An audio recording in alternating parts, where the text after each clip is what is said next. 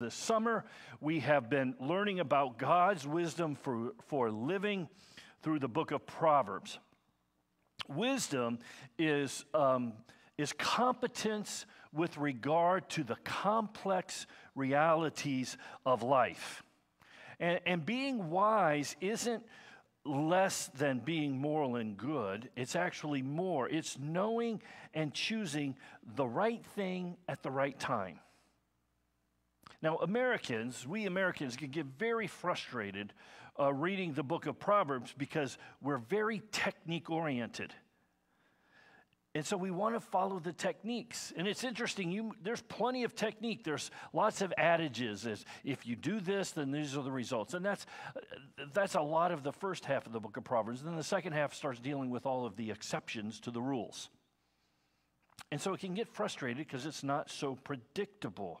It doesn't always give us methods by which we can make wise decisions. But more so, as I've been reading through the book of Proverbs, it's saying this here's the kind of person you need to become so that you make wise decisions. That a lot of that wisdom starts here with your character, not just techniques and adages and nice little sayings that fit on your wall with a beautiful picture of a seagull over an ocean. It's character. It's reflecting the heart of God and the wisdom and the fear of the Lord that will lead to wise decisions. It's interesting that even over and over again in the Bible, especially the Proverbs, it says, if you think you're wise and, you're a, and you've arrived, then you're a fool. But if you're painfully aware of your foolishness, of your mistakes, of, of your less than, then you're on your way to becoming wise. It's a, about a good dose of humility, and that's what we're going to talk about today.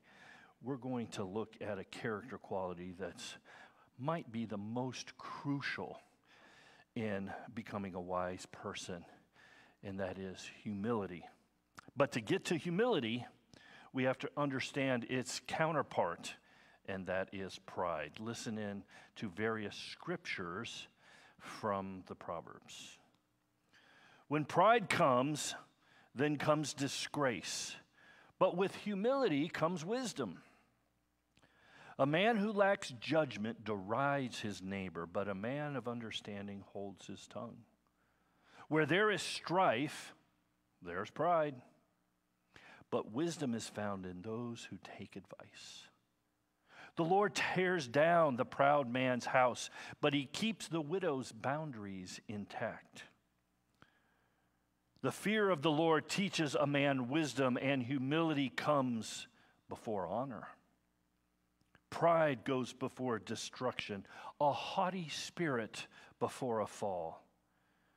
Better to be lowly in spirit and among the oppressed than to share plunder with the proud. Haughty eyes and a proud heart, the lamp of the wicked are sin. This is God's word. My first big ministry job was at Covenant Presbyterian Church in West Lafayette, Indiana. I had grown up in that church all through high school. I left and went away to Taylor University. And then they, upon my graduation, they called me and said, Would you please come back to your home church and would you lead our collegiate ministry to Purdue students? I was extremely excited to do that. I wasn't ready to go to seminary yet, although I was called by God in that church in ninth grade to be a pastor. I was utterly convinced of that. Um, so I was glad to go do some ministry rather than go hit more books. I wasn't always the best of students. But one Sunday, I remember uh, running around. We had a couple of services. Lots of Purdue students would come to these services. It was a large church, a couple thousand members, 10 staff, uh, staff members, a lot going on. And uh, one Sunday, I'm just running around doing my thing, and a deacon Jim was his name. I can't remember his last name, but he grabbed my arm and said, Steve, we need help with the offering. And I looked at him and I said, But I'm a staff member. And I ran off. I turned quickly and I, and I, I moved to the more noble thing. I sat with all of the Purdue students uh, who were in my ministry. I'm still a bit embarrassed to tell you this story because it exposed my pride. What a haughty thing to think and say that I was above serving the congregation and I simply couldn't pass an offering plate. Bad move, Steve. We're going to do three things. We're going to talk about what, what pride is. Let's diagnose pride. Let's look at pride's force, and then we'll look at pride's antidote humility. First of all, pride diagnosed. What is pride?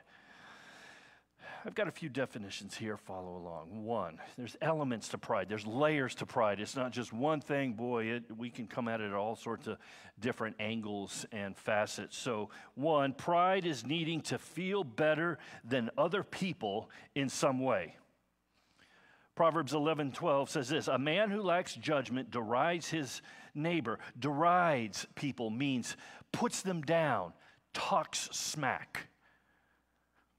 C.S. Lewis in Mere Christianity said this Pride gets no pleasure out of having something, only out of having more of it than the next man. We say that people are proud of being rich or clever or good looking, but they're not. They are proud of being richer or cleverer or better looking than others. It is the comparison that makes you proud the pleasure of being above all the rest. Why do we join certain clubs and organizations and fraternal orders and sports clubs and professional organizations? Usually, deep down, the main motivation is this it will look good on my resume. I will feel and look accomplished, important. And what is a resume? It's the evidence for your case that you're a somebody, that you're a person of significance or importance, a person of consequence.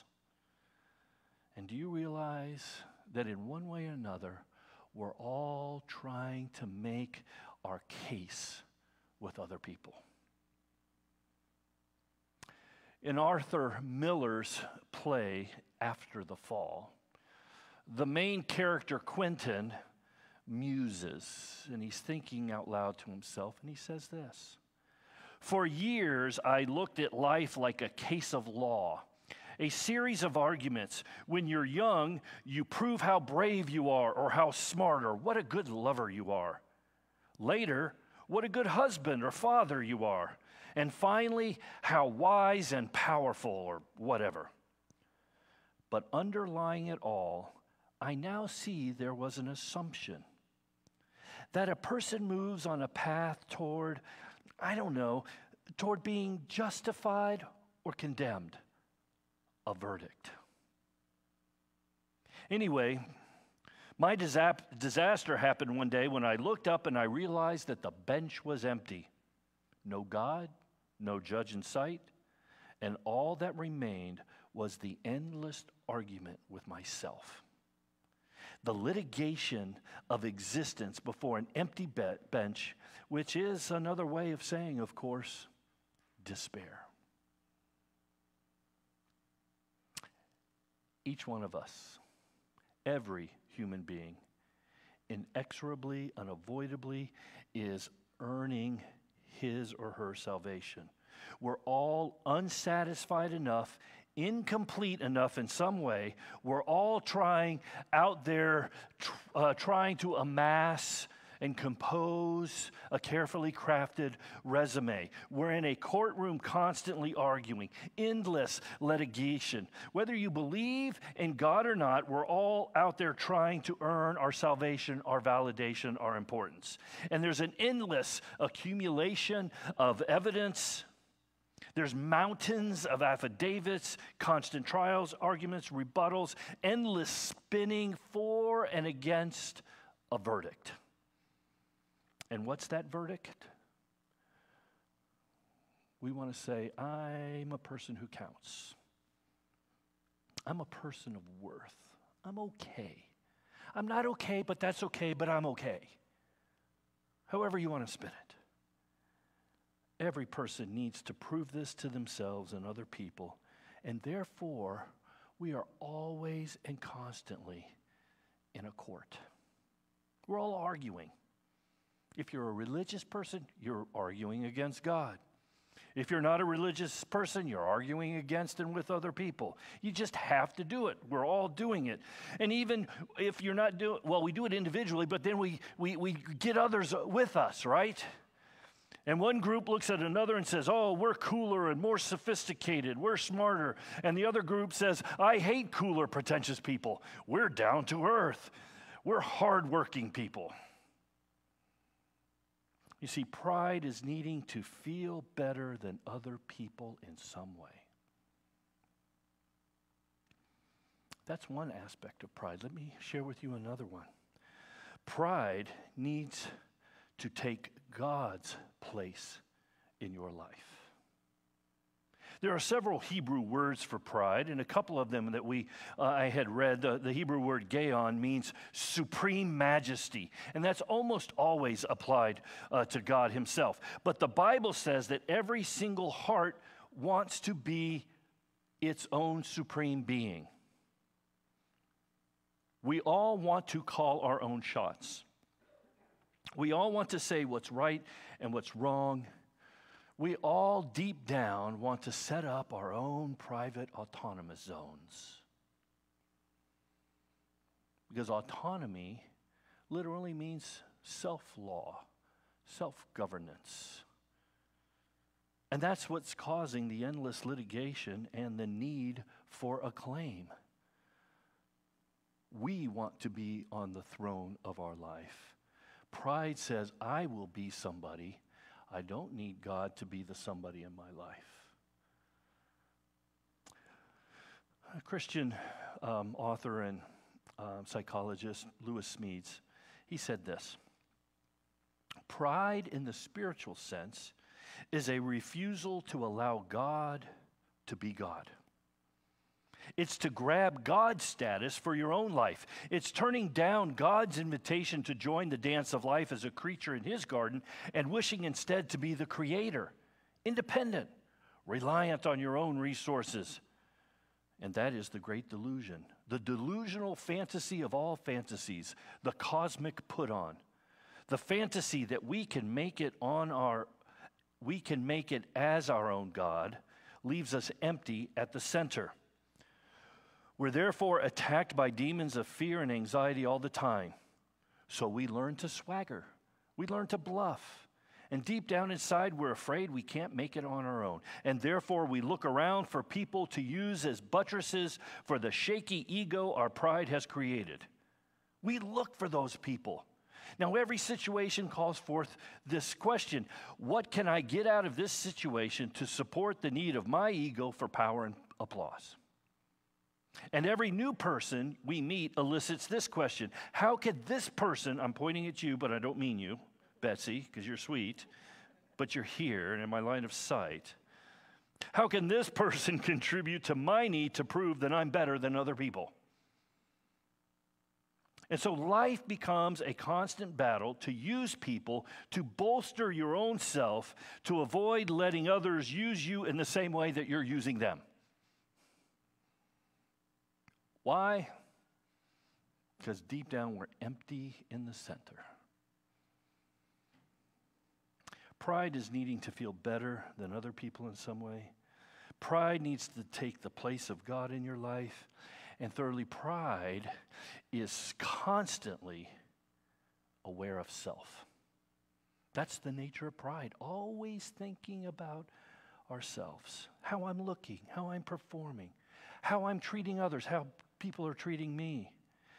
Proverbs 13:10 says this, pride only breeds quarrels, but wisdom is found in those who take advice. Don't tell me how to do it. Don't tell me how to live life. Don't tell me how I should view my politics. I'll figure out. I can do it myself. The proud person is always about him or her. And that self is always calling attention to itself. And that's just not confident people with a higher self esteem. Those with low self esteem have massive pride issues. Why? Because they're always thinking about themselves. You see, a person of low self esteem is just as proud with someone with a superiority complex because the person of low self esteem are morbidly self conscious. It reminds me of the, of the middle schooler. What's the middle schooler's unsaid credo? Don't do anything to embarrass yourself or draw undue attention to me. Right? That's why in middle school, kids learn sarcasm. It's a low form of humor that just puts other people down because they're so insecure themselves. What's the worst thing that could happen when I was walking through the halls of Tecumseh Junior High School and that somebody could flip your books? Do you remember that? That was back before the days when everybody carried a backpack, but you might have a stack of books under your arm. And if you walked up behind somebody and you gave it a shove forward or you ripped them back, and next thing it, your, your, your, your Pee-Chee folder with all your papers is all over the hallway, your books are scattered. And of course, being in middle school, there's nobody's going to stop and help you. What do they do? Oh, no, they start kicking everything down the hall. That's why in middle school, your, your kids start saying, uh, Would you drop me off a block from here? Don't do anything to embarrass yourself. Don't do anything to draw undue attention to you. You see, we're all, but we're all that way. It's not just middle schoolers. Many of us continue to live life that way. Always on trial. Always worried about the verdict. Not just the verdict that others may put on me, but the verdict I render upon myself. Well, that's pride. What about pride's force? The Bible, well, let me, let me hit Augustine first. He's one of my favorites, St. Augustine. He talks about pride's force when he says this It was pride that changed angels into demons. Hmm. You see, we don't we share the same issue that, that angels had wanting to be God.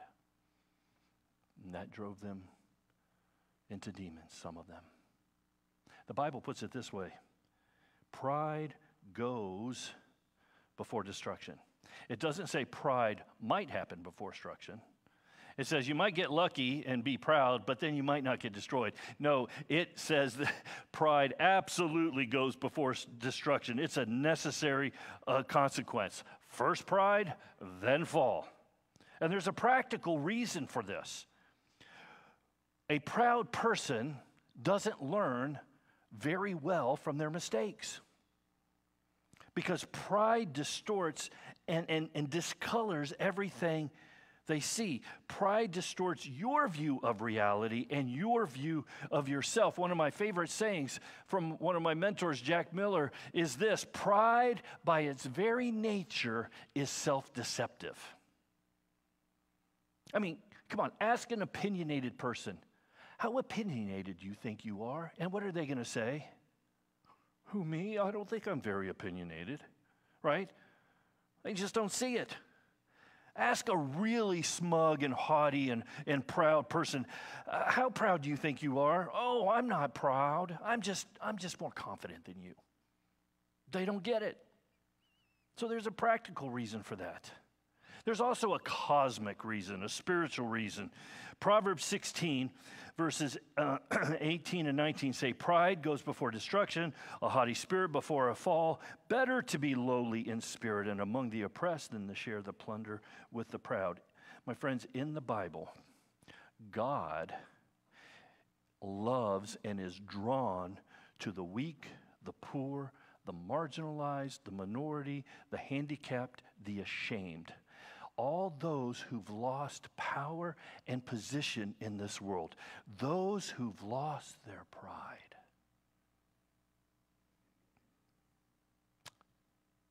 Isaiah 66, 12 says this This is the one whom I esteem. This is God speaking. This is the person in whom I esteem. He who is humble and contrite in heart and trembles at my word. My friends, God will lift up the humble but he puts down the proud. Why? I think it's because God dwells in community. He's a trinity. Each person selflessly loving the other, each giving the other two more glory than they want for themselves, never taking glory for themselves. What, no one in the Trinity of the Father, Son, and Holy Spirit is puffed up or thinks their role or identity is greater than the others. And that's how God operates. But fallen man has marred the image of God.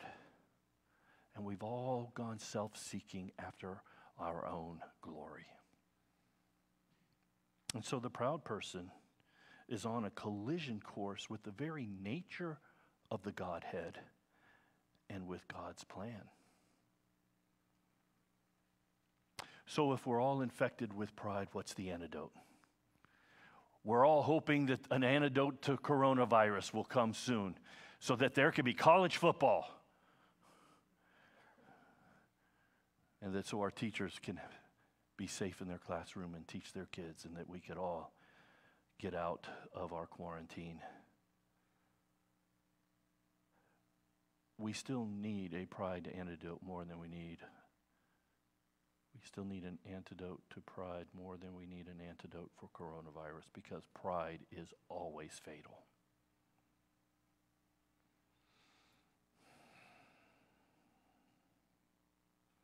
Pride's antidote is humility. Proverbs 15:33 The fear of the Lord teaches a man wisdom and humility comes before honor. It's akin to what Jesus was saying, right? The first will be last and the last will be first. My favorite definition of humility comes from C.S. Lewis. You might have heard it from Tim Keller. Humility is not thinking less of yourself, it's thinking of yourself less. If you didn't catch that, I'll, I'll, I'll repeat it. Humility is not thinking less of yourself, it's thinking of yourself less. And we see this in the life of Jesus. Paul puts it and expresses it beautifully in Philippians chapter 2, verses 3 and 4 doing nothing from selfish ambition or conceit, but in humility count others more significant than yourselves. Let each of us not only look to his own interests, but also to the interests of others. And then he goes on, just like Jesus did when he left his Father's palace in heaven and came down to this earth to rescue us sin smeared terminal wretches. He didn't have to leave his position up there.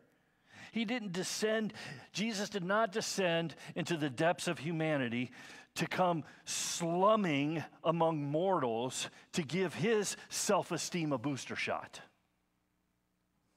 He was not here on a temporary or short term mission trip just so he could go back to heaven and feel appreciative of what God has done for him and how much he had there. He didn't come here to give his pride a fix. No, he willingly came fully adorned in compassion and humility.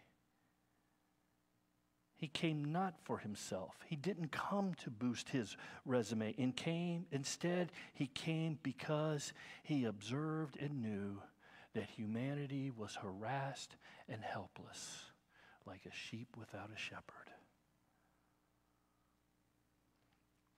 Dane Ortlund, in his book, Gentle and Lowly, makes this observation. He says, In the four gospel accounts given to us in Matthew, Mark, Luke, and John, 89 chapters of biblical text, there's only one place where Jesus himself tells us about his heart.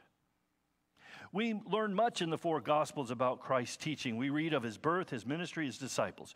We're told of his travels and prayer habits. We find lengthy speeches and repeated objections by his hearers, prompting further teaching. We learn of the way he understood himself to fulfill the whole Old Testament. And we learn in all four accounts of his unjust arrest and shameful death and astonishing resurrection.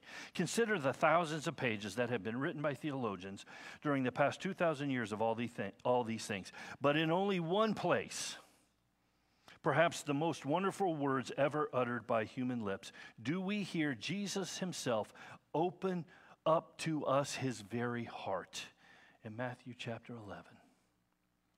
Come to me all who labor and are heavy laden, and I will give you rest. Take my yoke upon you and learn from me, for I am gentle and lowly of heart. And you will find rest for your souls, for my yoke is easy and my burden is light.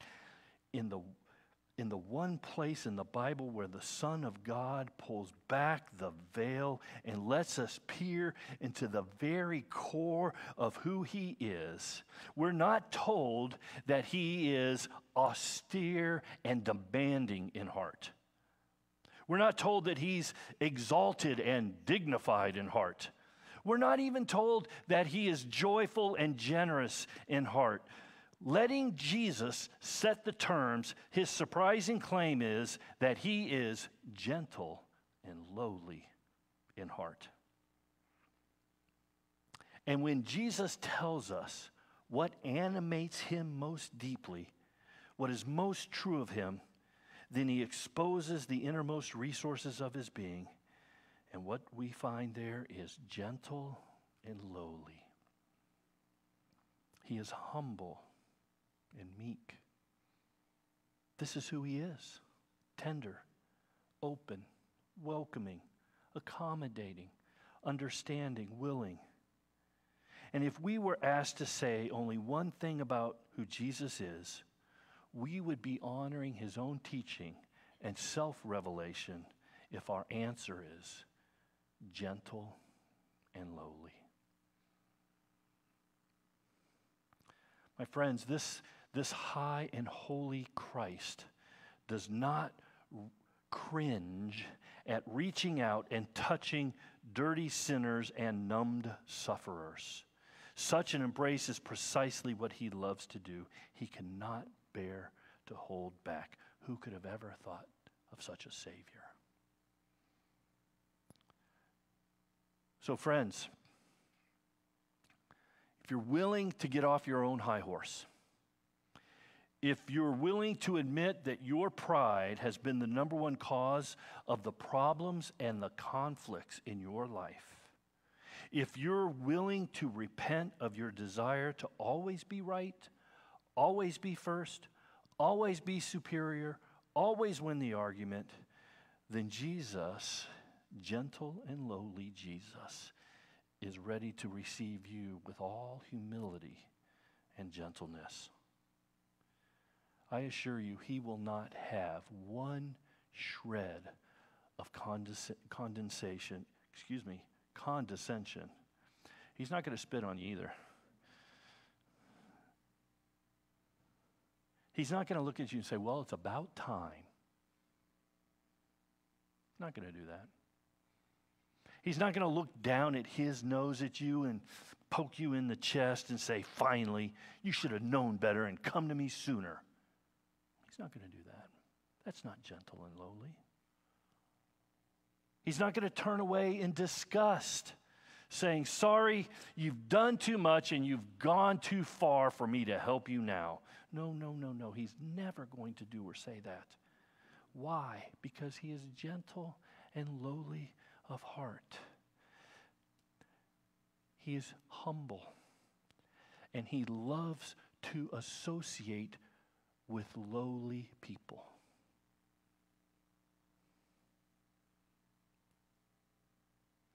What did Garth Brooks sing?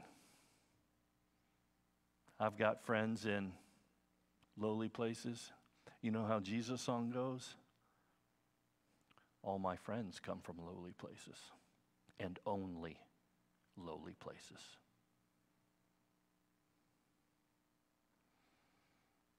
My friends, the verdict is in. Even though you are more proud and flawed than you ever dared admit, through Jesus, who is gentle and lowly, you are more loved and accepted and cherished than you ever dared dream because Christ emptied himself. He humbled himself so that you could be a somebody. And since God makes you a somebody, you no longer have to compare yourself with others. You can put pride away. You can put autonomy away. You can delete that resume and say, no, my identity's in Jesus. And because he's loved me, and he in all humility comes to me, and he grants me new life and rep- forgives my sins, then in turn, I can start living that way. As I've experienced the wholehearted love of Jesus towards me, then I can wholeheartedly return that love. And I can also begin to wholeheartedly loving other people, other friends in lowly places, other lowly friends in all sorts of stuck places. I can go to them just as Jesus came to me with no condescension or condensation.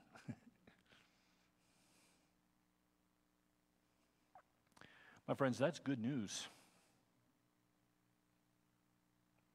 That's another way, another angle uh, of looking at the gospel, the good news of Jesus Christ, that he comes in all humility to us. And, and, and, and what's our response? Well, I can be humble too, and I can admit all of my pride, even when I said I'm a staff member and that's too, too lowly for me. Friends, let's, let's go to Jesus. He's already there on bended knee, ready to receive us. Let's pray. Lord God, help us to kill our pride. And you died for our pride on Calvary. And you said, Enough of this. And may we say, Yes, enough of me. I do not like being this way. I don't like living this way. I don't like judging myself this way. I don't like judging and condemning others this way. I hate this constant trial, always seeking a verdict. And when I know that you look at me and say, You are my adopted and beloved son or daughter, that that's the verdict I really want.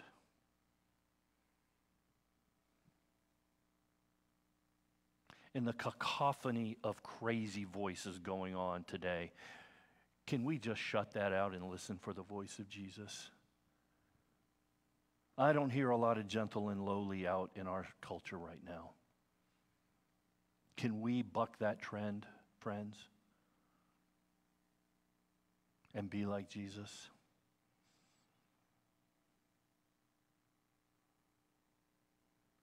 Can we come to others, having nothing of self ambition or conceit. But can we, with the humility of Jesus, count others more significant than ourselves? Lord, help us. We can't do this alone. Folks, don't try this at home. It's going to blow up, burn the house down. But burn our pride down. And may we be filled with our compassionate shepherd. His name we pray. Amen. Amen. Would you please stand? Let's embrace by faith the one who humbled himself to redeem us and who is our Lord. Let's affirm our faith together uh, using these words uh, from Philippians 2. I believe that Christ Jesus, though he was in the form of God, did not count equality with God a thing to be grasped but emptied himself by taking the form of a servant, being born, of goodness, and being, being found, found in, in human form, form, he humbled himself and became obedient to the point of death, even death on a cross. Therefore, God also highly exalted him and gave him the name that is above every name, so that at the name of Jesus every knee should bend, in heaven and on earth and under the earth, and every tongue should confess to the glory of God that Jesus Christ is Lord. And let's sing and worship him together.